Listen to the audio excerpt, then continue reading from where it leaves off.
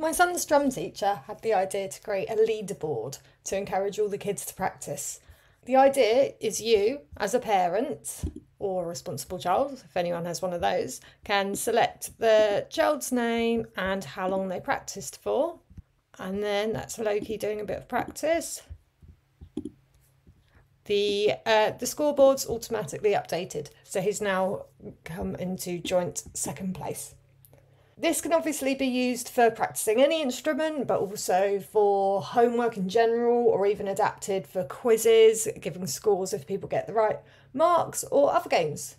We're going to show you how to create the form, calculate the scores, format the leaderboard, and send it all out protected.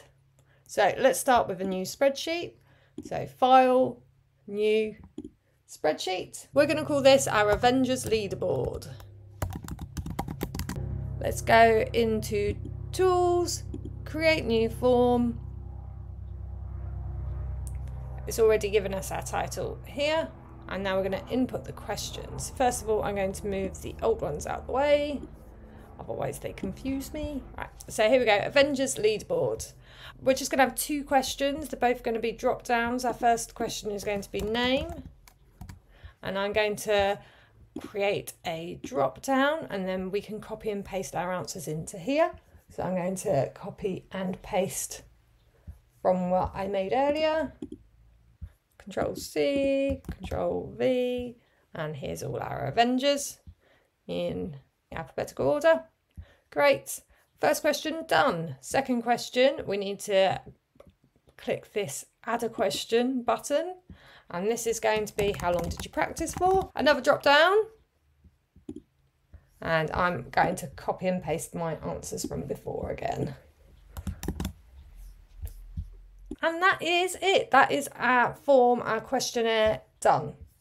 Simple as that, we can send out our form by clicking the send button. And you can click on the link here, shorten URL, and you can send this link out to all of your friends or all the parents.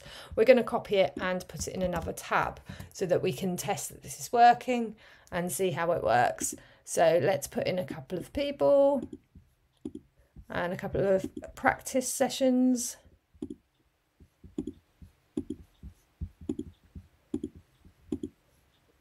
I'm going to speed this up a bit.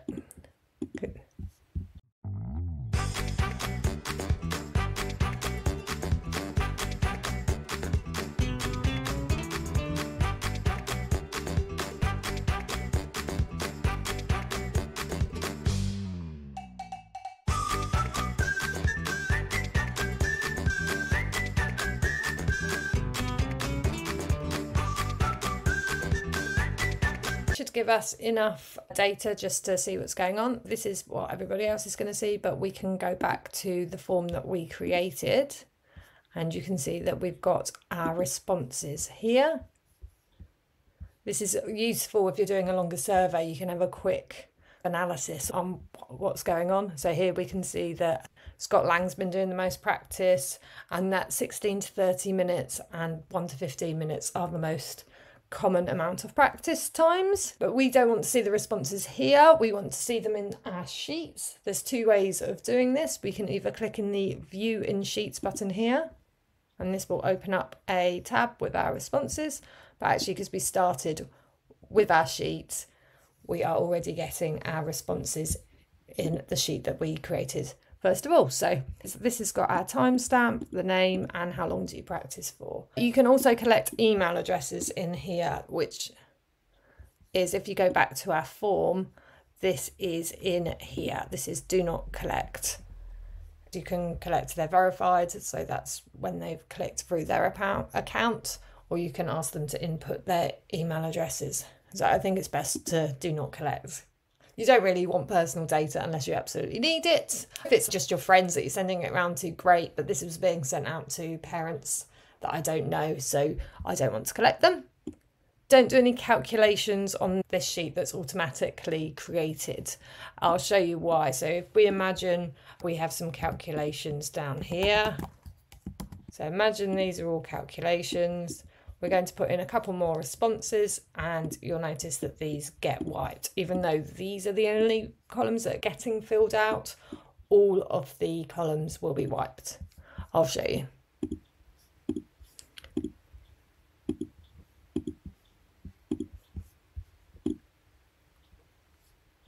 Stephen Strange has been added and the next response has been, and everything next to him has been wiped.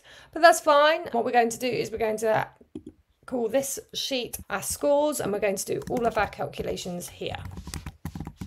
So the first thing we're going to put in is our points, so how much each response is worth. Here you go. The idea here is you get two points for 1 to 15 minutes and three points for 16 to 30 minutes. So you get more points if you do two lots of 15 minutes than if you do one lot of 30 minutes. That's to encourage little and often. Once we've added in the points, we're going to add in the, the names of our Avengers or our children. I like to imagine the Avengers as children, really. We put those in here, put down one more, and we're going to put above here a long, long ways rather than downwards. We're going to put how much each practice session is worth. Nice little easy formula for that. It's called transpose and you can just select everything that you want flipped and that goes in there like that. In the old days you used to have to use like control shift enter and it'd be an array function which was a little bit more awkward to do. But nowadays, just use transpose. It goes in there like that. And then what we're going to do is we're going to fill out this table, how many times each student has practiced for that length of time. And then we're going to add up all of their scores and create the leaderboard. So to fill that out, do that, we're going to use a count ifs. A nice little formula that I use quite a lot actually we want to count how many times Bruce Banner appears and how many times he does 1 to 15 minutes. There is a count if, if you just want one condition, but we've got our two conditions. The first is our child and the second is the session length. I'm going to put in Bruce Banner first so you can see how that works. We're going to count all of the names here, select that whole column. If you select the whole column, then that means more data can come in and it's automatically updated. And then we're going to select Bruce Banner and you can see how many times Bruce Banner has done his practice. So twice. You can check that. Bruce Banner is here and he is here. So he's in here twice. Brilliant. Now we're going to add our next condition, which is how long did he practice for. So we're going to do a comma. We're going to select all of the practice lengths another comma, and we're going to select 1 to 15 minutes. And both his practice sessions 1 to 15 minutes. Interesting. Okay, cool. We now need to move this across and down. So we want to do our fixing. So we always are going to be looking at column B. So we need to function F4, fix that.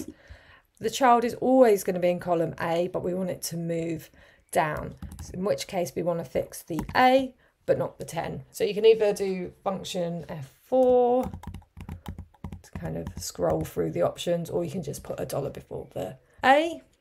Similarly, our practice session length is always going to be in column C, so we can fix that. And our session length up here is always going to be in row 8, but it's going to move along the columns. So we want to fix the 8. There you go, that's all our fixing done. Copy and paste all of this down here. And we can see that Bruce Banner's done two lots of 1 to 15 minutes.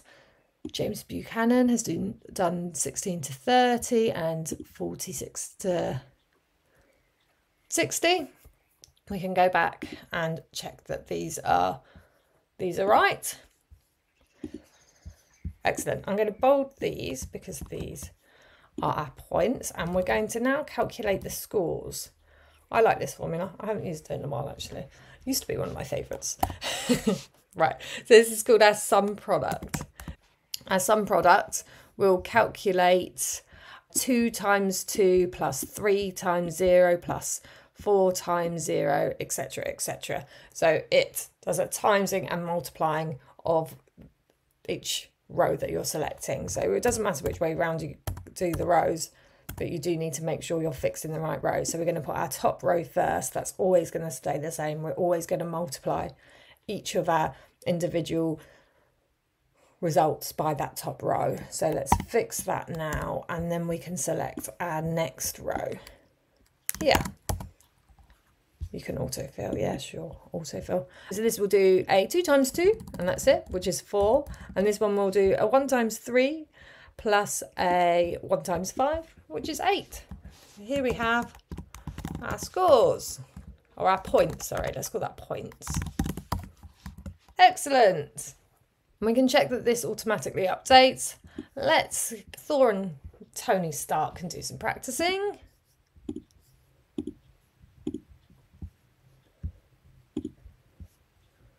Thor's strong. He's definitely doing over an hour. And Tony Stark has a very short attention span, so he's just doing 1 to 15 minutes. Cool. We've now got 13 responses. And Thor has done over an hour, and Tony Stark 1 to 15 minutes. Excellent. They've got their points. Now we need to create our leaderboard before we create our leaderboard, we want to know, we want to put people in in order. So whoever's in first place goes at the top, whoever's second goes second, etc., etc. To help us do this, we can create a rank. It's a nice simple formula. We literally write rank and we want to see how four points ranks compared to all of our other scores. So Bruce Banner is in fifth position with four points. Who's in first position? First position is, is Scott Lang with 11 points. Go Scott. That's second is Clint Barton. And third is Steve Strange. Now that's great. We've got an order for for our leaderboard. Who's going to be first, second, third etc. But I don't know if you've noticed, we've got draws. We've got a few people on eight points. And when we go into our leaderboard, that's going to be difficult because Google Sheets is only going to look at who's the first person in eighth position, Steve Rogers. They'll put him in eighth position and then they won't have anybody in ninth, 10 position. So we're going to create a new column called position. And we're going to use exactly the same rank formula. So I'm going to copy that whole formula and paste it into the formula bar rather than the cell. It keeps everything in the same place. It's instead of fixing G10, which is pretty lazy to be honest. We won't copy that down because we haven't finished yet. What we want to do is we want to add on another number if we've already got somebody in that position. So this is our first person in eighth position, but we've got this one in eighth as well. So instead of eighth, we want it to be in ninth and this one in tenth. A neat way of doing this, I'll send a link of where I got this from, is doing a count if again, count if or count ifs. We're just doing one condition, so we only need a count if. I'm going to put in a count ifs just because I can. this time we're selecting the area that we want to count before we're selecting the count. So it's a slightly different way around where we're having the kind of range before the individual number. So we're going to always be looking above us. We're going to fix the cell above so that the top is always going to be the top, but the bottom of what we're looking at is going to move down because we're looking at if anyone above has scored the same as us. And if so, it's going to add one. So here we've got a rank of five. We've got four points already in there. So we're going to add one for that. We'll correct that in a minute. I'll just show you that for now we're always adding another one onto the rank unless there's a draw. So here we're adding one, but where we've got a draw again here and here, we're adding another two and three. But yeah, as it always adds on one, there's two things you can do. You can either add a one, sorry, one, 1 so that we start at 1 we go down to 11 or the other way you can do it is actually you can start your count from above your current score. So instead of looking at instead of counting your score just go one above here. And get rid of your one. And we still have a first position,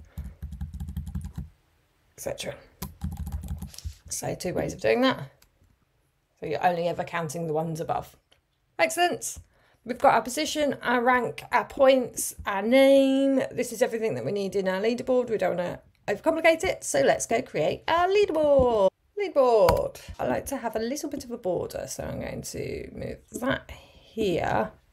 Actually, I'm going to put our positions in this here and then I might make them white. Hmm. Let's have a look, see what it looks like. So we've got 11 Avengers.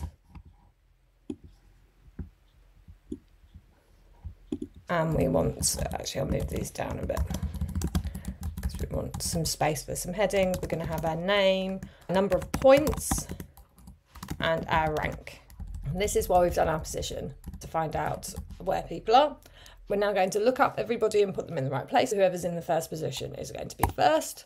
We're going to do an index match. We're going to break down this index match function. We're going to have match in first. So what we're going to do here is we're going to match, find out who's in position one. So look up one within our ranks, oh sorry, our positions here. Fix that. Always put a comma zero. That makes it an exact match. There you go. And now we know that it is uh, whoever's in position one is in index six.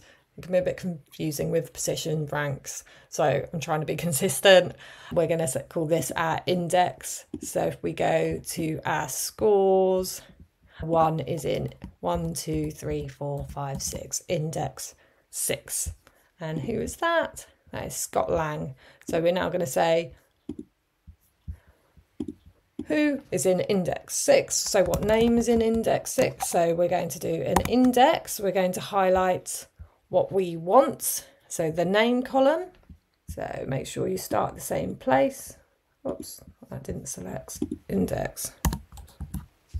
Sometimes you need to click first.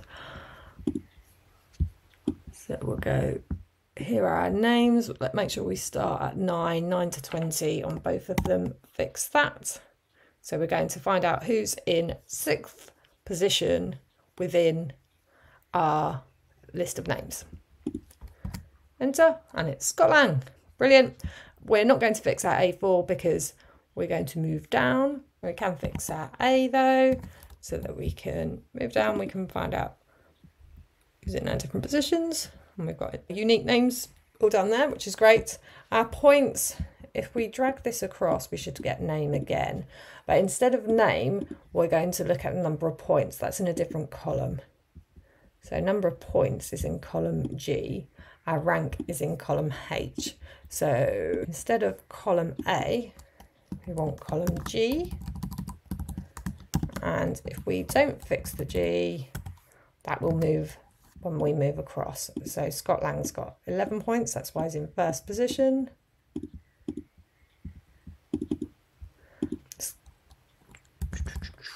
And here's our rank. So we've got our draws here. We've got two people in third position. Excellent. Let's make this a bit bigger. We're now going to do our formatting. First thing I want to do is make this black. And make the writing white. I'm going to hide all of this. And make that a little bit shorter. Make this bit black as well actually. And um, we can change make these a bit smaller. So double click there. We can center them. Uh, we can hide everything from here below.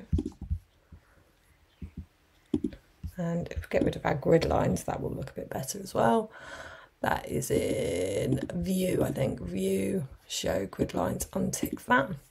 Cool. We're looking looking better already we're going to do some formatting to make the person who's in top place gold, second is going to be silver, and third place bronze. And you can see we've got a, a draw there. The two people are going to be coloured in bronze.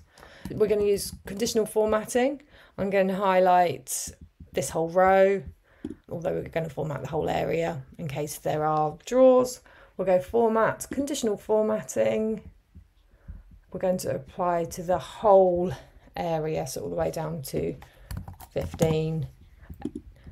Format rules, we're going to scroll all the way to the bottom to custom formula. Is because we're doing a formula, we're going to start with an equals and we care about D4. So if D4 is 1, you're in first position. We're going to fix the D because we always want to be looking at D. Whatever is in D column is in position 1. Then we're going to make it a nice gold. There's a gold. That's done. We click in there again and we do add another rule. This will keep exactly the same rules that we've got. That means we don't have to retype anything. This time we're going to look at who's in second position and we're going to make them silver. I'm going to add another rule. You don't need to save. We're going to look at who's in third position and instead of silver, we're going to have bronze. Hopefully it's not too similar to gold. You go, look at that. Done. We can add in a logo at the top if we wish. Let's check that that works by adding in another response. Let's move Loki up. So let's Loki can do a little bit more practice because I like Loki. And how long do you want to do? See if that's enough to to move him up. He's now moved up to third position. He's now bronze. Um, Doctor Strange and Thor have moved down. As I said, add in a logo if you wish. You can also, in your main question board here, you can add in logos and change the colours.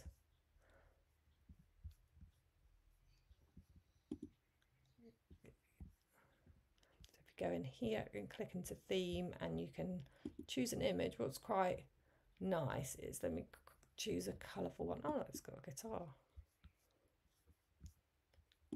Double click in that, apply that, and then it also changes the top colour. And you can see what that will look like straight away. There you. Looks a bit nicer, doesn't it?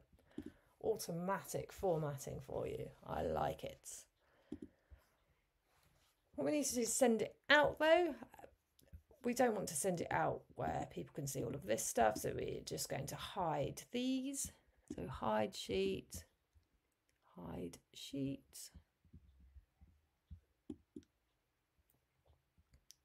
And then we don't want people to be able to edit this, but we want anyone who has the link to be able to see it.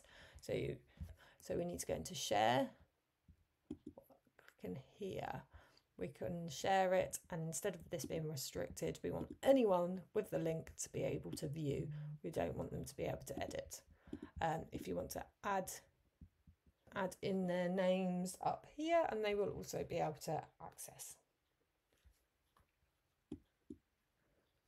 That's it done. Uh, to send it out, then, if you remember, we just go to the send button. You can either write an email in here, put in the emails, or you can write your own email, shorten the URL, and send that link out, and also send this link out here. That's it. Hope you enjoyed the video. Um, if you did, if you could click on that subscribe button, then you can see more videos. Let me know in the comments section if you think this, like what you think that this could be used for, or if you have any comments or questions or suggestions, let us know. Thank you very much. Cheers. Bye.